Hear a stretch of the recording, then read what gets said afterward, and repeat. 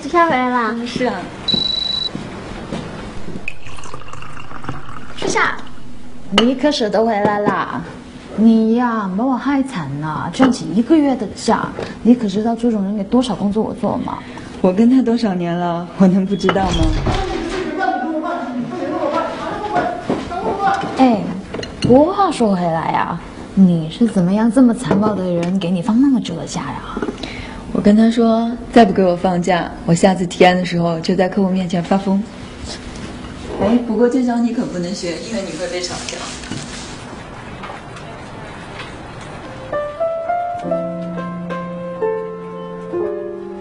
这是我的位置吗？是啊。怎么会变成这样？是你自己布置的吧？初夏，这些是你这个月的信件，还有一个给你的包裹。谁留给我的？应该是你男朋友吧？我什么时候有男朋友了？你男朋友哦？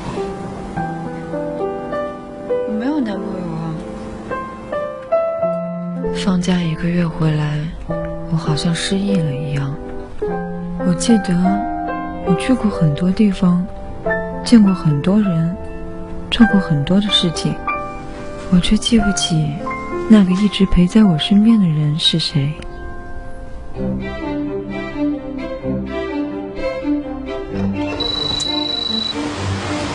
欢迎光临。给我杯 single 杯。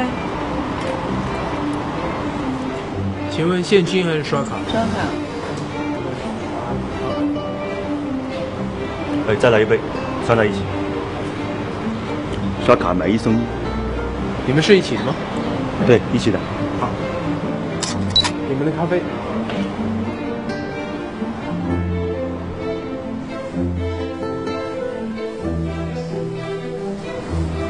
哎，来了。你经常来吗？你真会开玩笑。你以前不是很喜欢跟你男朋友坐那个位置吗？嗨。谢谢你，我叫木西。不用，喝完麻烦你走开就好了。你请我喝东西，我帮你完成一个心愿。别烦我，最近失眠，脾气不好。我可以帮你。其实我是个魔法师。魔法师？你是骗子吧？现在是中午十二点，人生理上第一个困乏期，你应该睡一觉。照我说的去做。放心吧，我不会骗你。你先闭上眼睛，然后想象自己站在白色螺旋体上，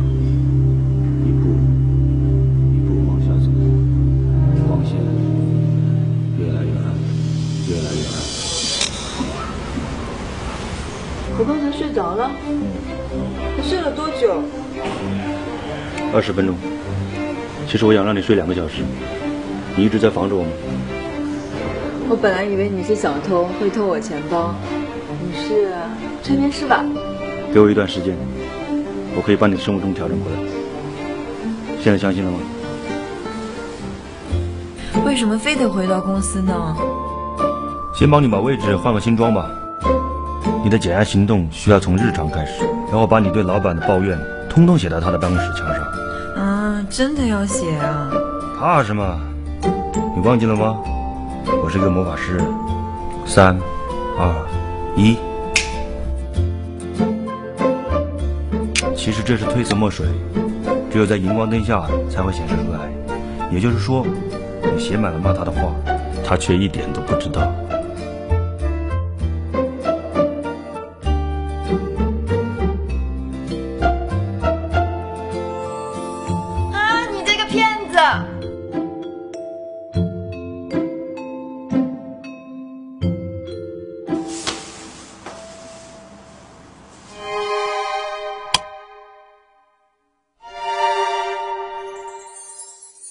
换一个能让你安睡的地方。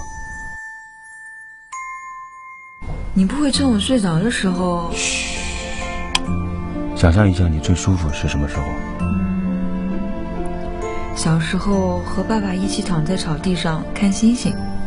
你现在幻想在黑暗中，一颗一颗的小星星慢慢亮起，它们围绕在一起变成处女座。嗯，你怎么知道我的星座？因为在处女座旁边就是摩羯座，也就是我。我会永远在旁边守护你。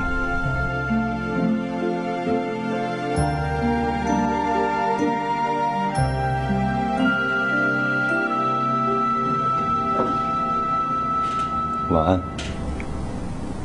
晚安。你真的是催眠师吗？我说了我是魔法师，你又不信。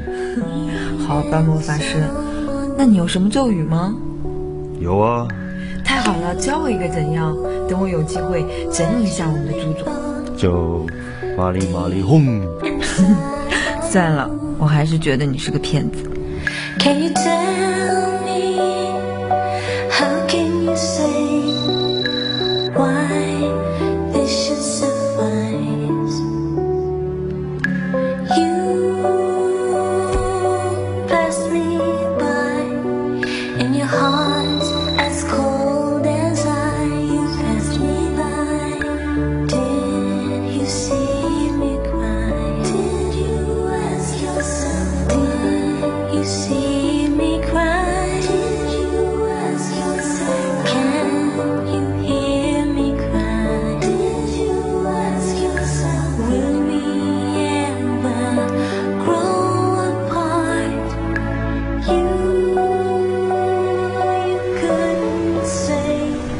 接下来是最后一个步骤，我要让你忘记整个治疗过程，只留下现在的感觉，就带着感觉走，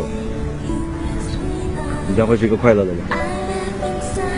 来吧，我已经完全把心交给你了。当你把这个治疗过程遗忘的同时，你将会把我也一起忘掉。请原谅，我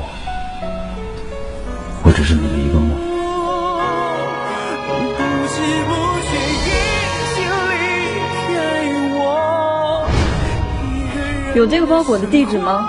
没有寄出地址呢，可是查一下快递公司应该查得到。到底是怎么了？是我的错，还是其实你已经忘了我？李兆生，这骗子！你都记起来了？你们做魔法师的，能说来就来，说走就走啊？你这样做跟骗子有什么区别？你到底有没有职业道德？我就是太有职业道德了。我是一个催眠师，催眠师是不可以喜欢自己的客人的。你敢说你从来没有喜欢过我？我从来没有喜欢过你。不知不觉已好久不见，找不到的画面，疲倦。不想去管我们相隔多远，连你一句谎言我都听不见。不知不觉已经离开我，一个人的生活，我不要想太多。到底是怎么？还是其实你已经？